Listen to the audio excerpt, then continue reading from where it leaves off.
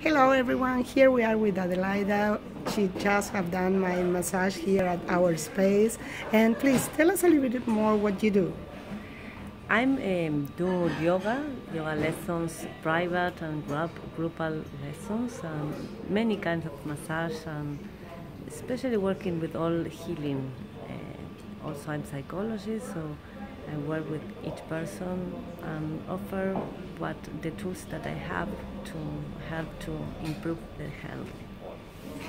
Adelaida is amazing. We love her here. She has a fans club, and we are always queuing to get her massages twice a week here at our space.